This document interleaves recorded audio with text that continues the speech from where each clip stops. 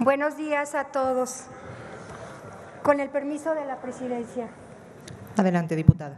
A lo largo de la historia de la humanidad hemos sido testigos de conflictos y guerras que han marcado nuestros pasos. A partir de los antiguos campos de batalla, hemos observado cómo las armas evolucionan para infligir, infligir un daño cada vez más devastador a la humanidad. Es innegable reconocer que la tecnología ha sido una herramienta importante para la construcción de la sociedad moderna. Sin embargo, debemos admitir que, lamentablemente, la humanidad no siempre la ha utilizado para promover el bienestar y el progreso. En lugar de eso, ha sido empleada para potenciar la destrucción y la confrontación. Desde las más antiguas y rudimentarias armas de guerra hasta los sofisticados arsenales militares del presente, el progreso tecnológico ha alimentado una carrera armamentista que amenaza la estabilidad y la seguridad mundial. Durante la Segunda Guerra Mundial la humanidad ingresó a una nueva era con el devastador uso de las armas nucleares.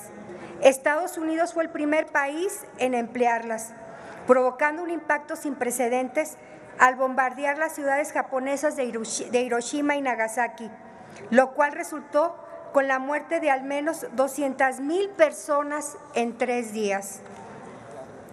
Tras el devastador impacto causado por el desarrollo de este nuevo tipo de armas, muchos y muchas activistas han levantado su voz en un reclamo urgente por el cese de la fabricación y el empleo de este tipo de armas.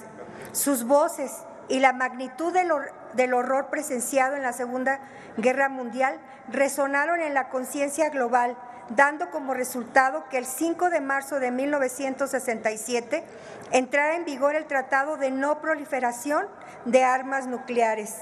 El acuerdo representó un compromiso colectivo por parte de la comunidad internacional para desalentar la, creciente carrera armamentista, caracterizada principalmente por el desarrollo bélico y descontrolado y prevenir un conflicto nuclear a gran escala. En la actualidad, el mundo enfrenta múltiples conflictos y tensiones geopolíticas como los enfrentamientos, los enfrentamientos entre Rusia y Ucrania y el conflicto entre Palestina e Israel, los cuales le han costado la vida a miles de inocentes. No encontramos en un punto, nos encontramos en un punto crítico donde la necesidad de promover la paz y la seguridad mundial es más apremiante que nunca. Las tensiones entre naciones y, la persistente, y las persistentes amenazas de armas de destrucción masiva nos recuerdan la fragilidad de nuestra existencia.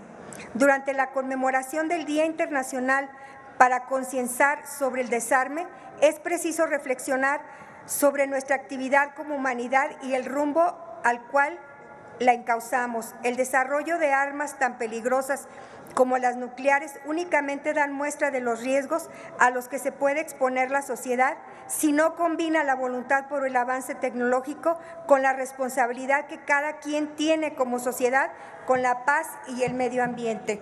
Es cuanto, muchísimas gracias.